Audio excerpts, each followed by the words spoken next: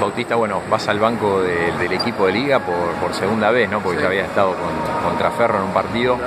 Eh, bueno, ¿qué sentís, no? Es un poco dar pasos importantes. Sí, bueno, el, el próximo paso que tengo apuntado, mi próximo objetivo, eh, es un orgullo enorme que me tengan en cuenta, Cepo. Eh, así que voy a estar a disposición del equipo si me toca entrar 10 segundos, 5 segundos, lo que sea.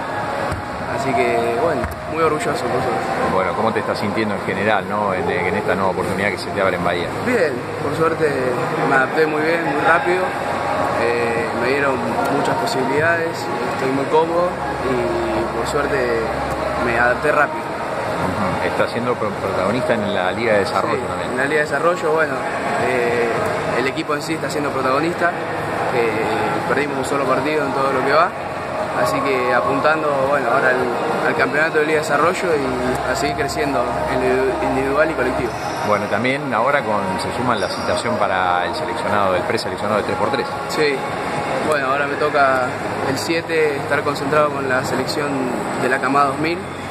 eh, así que voy a ver, voy a, a entrenar a full para, bueno, para ir a los Juegos de- Olímpicos de la Juventud.